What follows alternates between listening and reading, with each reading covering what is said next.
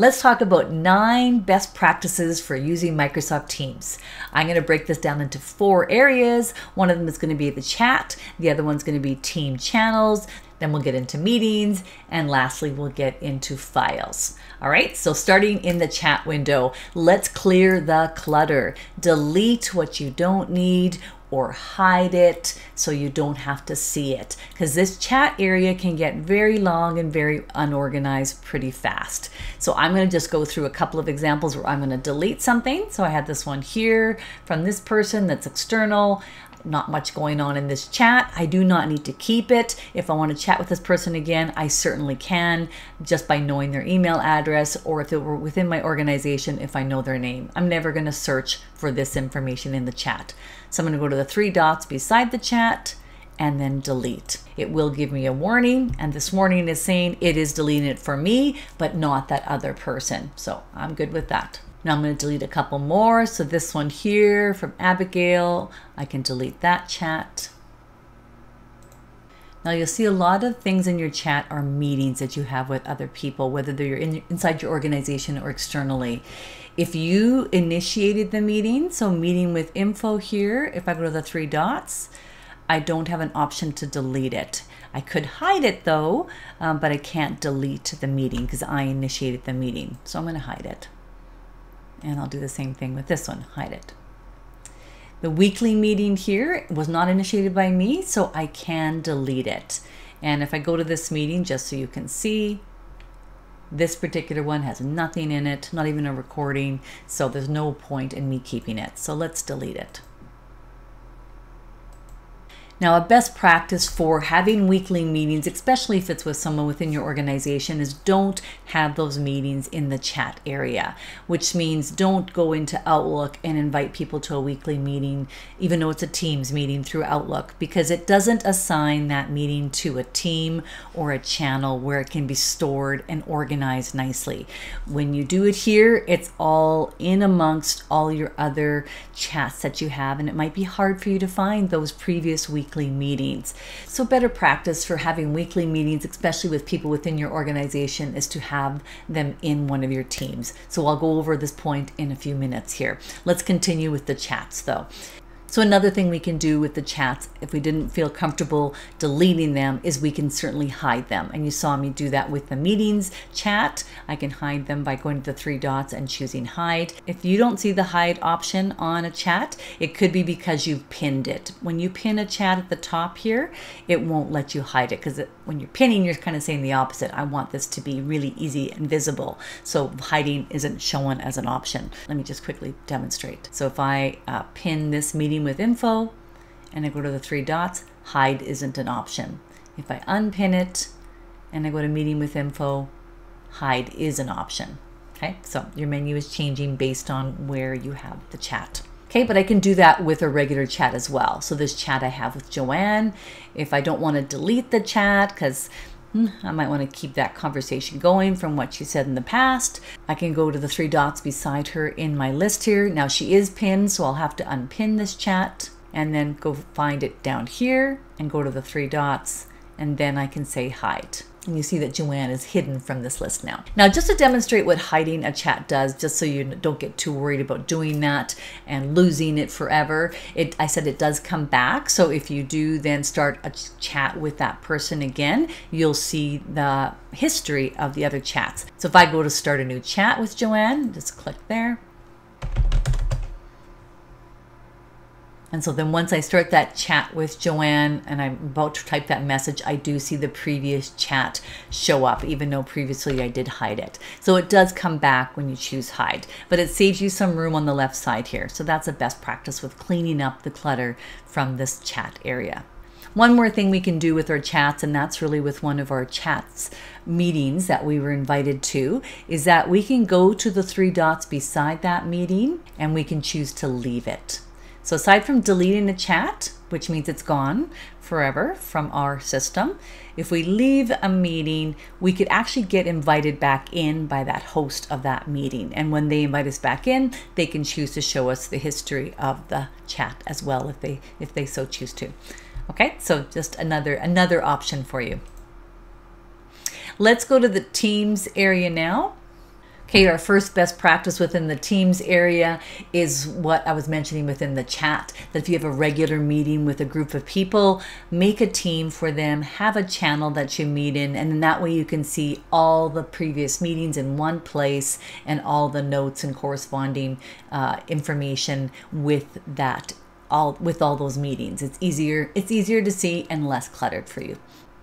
And if I'm doing my meetings within my team channel, then I can also refer to in the meeting other team apps that I might have in that channel. So if I have a OneNote or if I have some files in the channel from the meeting, I can link to that OneNote page or to the files that I want to refer to. And so it's all very interconnected within the channel and easy for people to reference afterwards.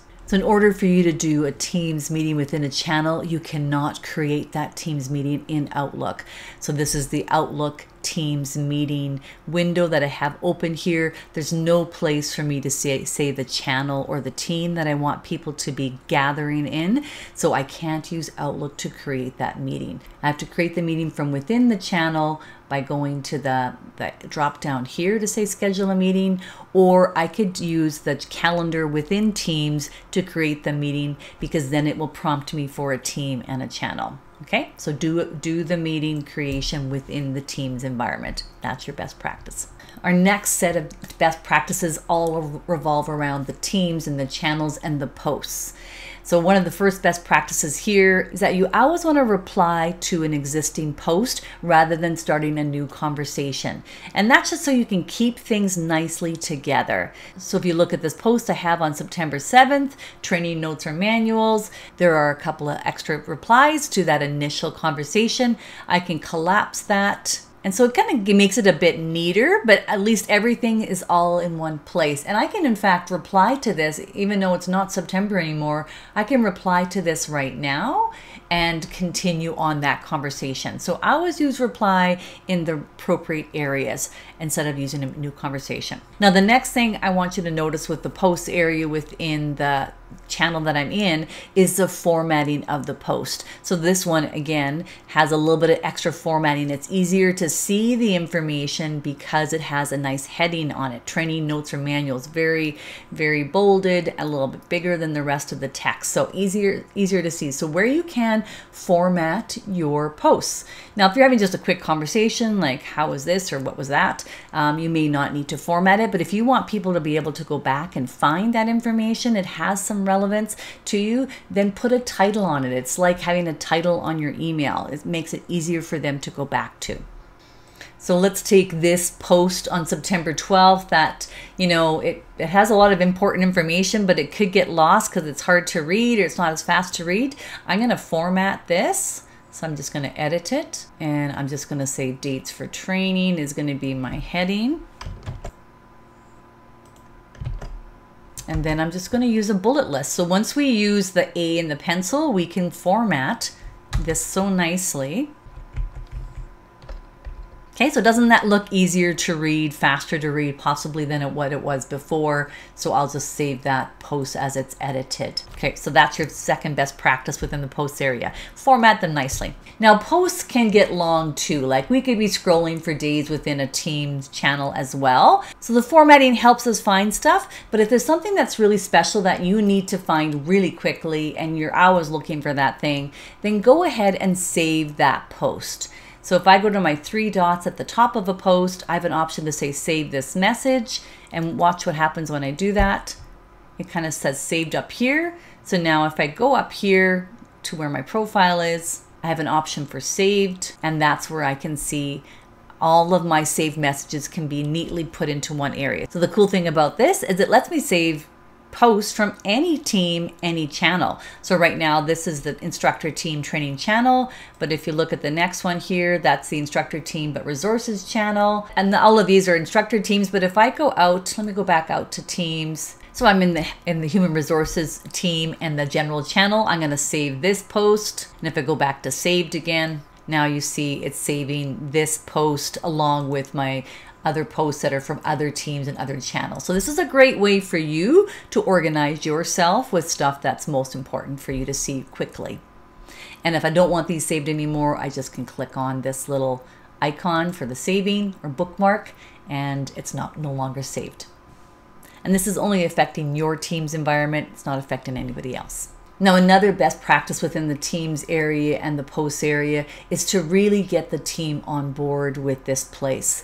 And to do that, I mean, suggest that rather than emailing each other, if we're on a team together and if we're talking about this topic, why not do it within the team area? So if I'm working with my instructors and we want to talk about training or we want to talk about resources or assessment forms, these are all different channels in our team. I would go to the appropriate channel and have the discussion in the post. I will not email them. Okay, so encourage less emailing, more posting, and relevant posting to the relevant team and the relevant channel. Okay, and our last two best practices are in the files area within a team. And that is to actually take advantage of the columns that are available to you to organize your your files better and stop using so many folders. Folders are a thing of the past. They're great for housing your files together that you want to separate from everything else. But when there's a bit of overlap between the files, it's like which folder is it in? Then don't put them in folders. Put them in put that information that really kind of separates it into a column and keep all those files together. So this is this is a hard one i know because we are very used to uh, i have lots of folders myself lots of subfolders and i'm like oh this is a lot of work to change this over. But give yourself a little bit of room here. I mean i'm not saying you can't use any folders at all. Certainly you can use some but try and use less of them.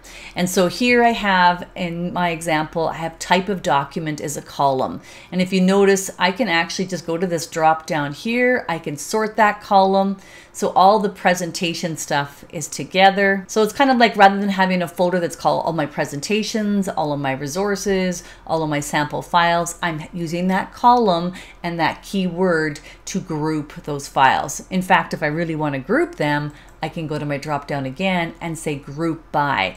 So I kind of have a folder look without having to have a folder, but I've got the flexibility of looking at my files various different ways. I can also filter by these things. Um, and, and, really by any column. So you might notice I have another column here that says the course that each of these files represents.